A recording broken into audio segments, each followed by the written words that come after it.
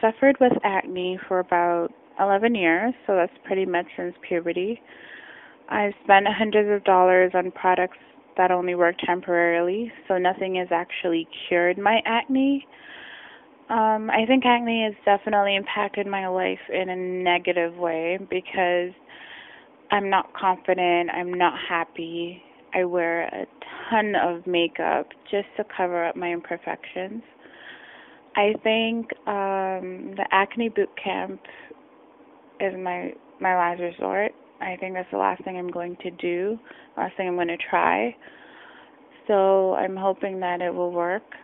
Um, my boyfriend actually has used this product and he's seen great results and it's cured his acne. So I'm really looking forward to trying trying this product.